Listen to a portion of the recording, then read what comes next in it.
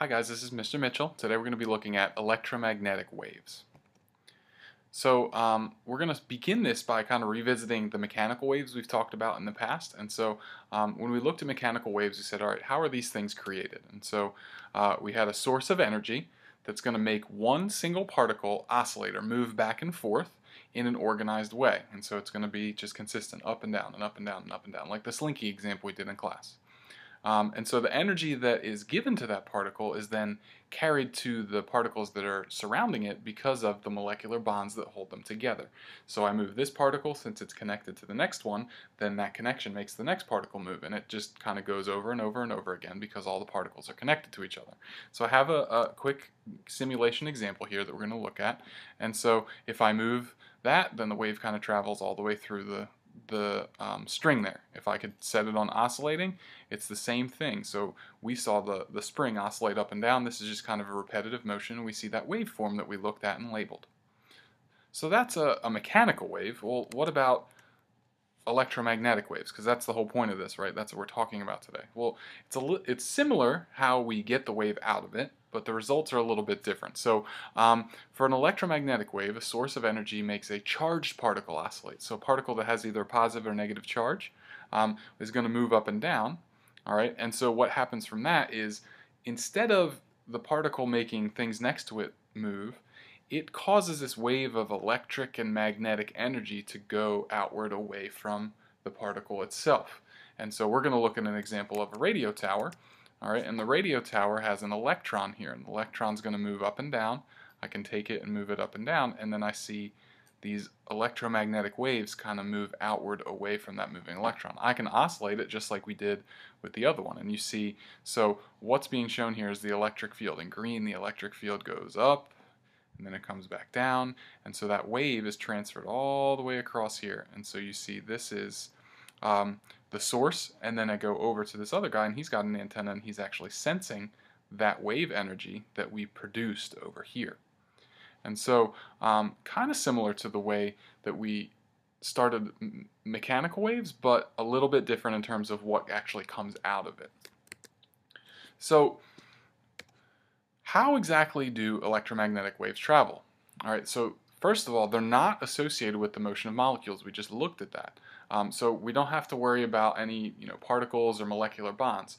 And in fact, electromagnetics electromagnetic waves don't require a medium at all. So there's no physical matter that's required for the wave to travel to. They can even travel through the vacuum of outer space. The vacuum just means that there's nothing there. There's not even air particles. There's no matter at all. And so electromagnetic waves are able to travel through that. And thank goodness because light is an electromagnetic wave. It comes from the sun and it reaches the earth. We need that to survive. And so um, electromagnetic waves simply can travel through a vacuum. They don't require particles to move through.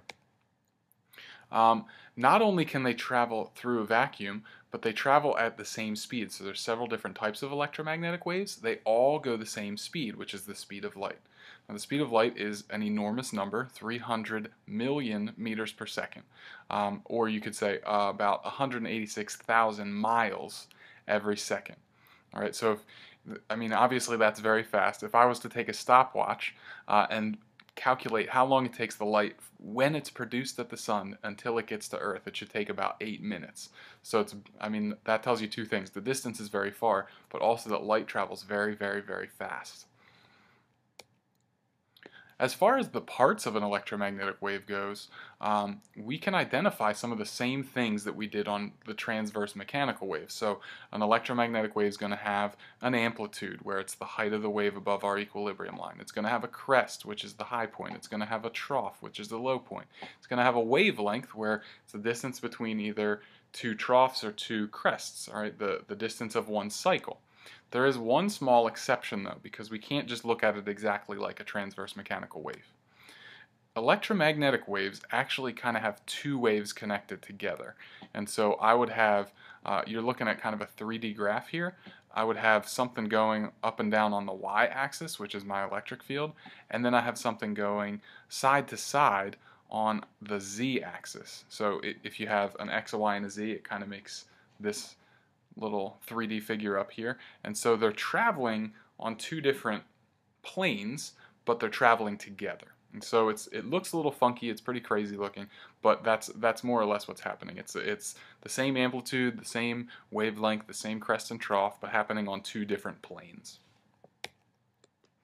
Um, with energy in an electromagnetic wave, again, it depends on the same things as the mechanical waves we talked about. So um, the amplitude and the frequency are what determine how much energy an electromagnetic wave has. So over here, right, I have graphs with two different amplitudes. The blue is a little bit shorter than the red, and so the red would have more energy. And over here, I have two waves with different frequencies. The red has a real long frequency, or real, real small frequency, so there's not a whole lot of waves kind of crunched into that space.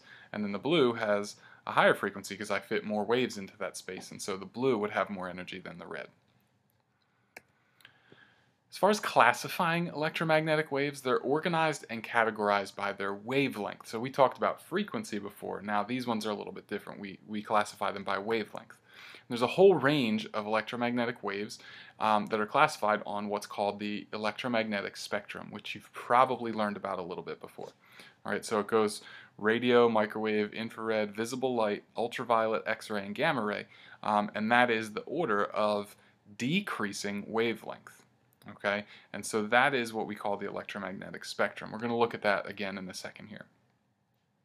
As far as the energy goes, um, remember that they're classified by their wavelength, but we only know how to identify energy from our frequency. So we have to know that the wavelength and frequency are inversely proportional. With all that means is that as one of them goes up, then the other goes down. So if the wavelength is going up, then the waves are getting really long, and so the frequency is getting smaller. The wavelength went up, the frequency went down. So if I'm looking at the electromagnetic spectrum, we can use that to identify what waves have the highest energy, what waves have the lowest energy. So here's a picture again, all right, just a little bit different.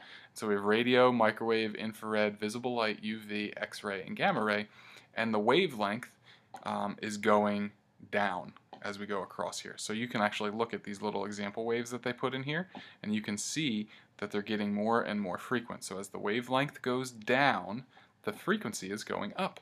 All right, and so we said the higher the frequency is, the more energy it's got. So the highest frequency over here is gamma rays, so they have the most energy. The lowest frequency is radio waves, they have the lowest energy. So that was just kind of our quick crash course in electromagnetic waves. It should kind of reinforce the things that you've read about in the, the guided notes there. Um, I hope that this was helpful kind of in clarifying anything that was missing there.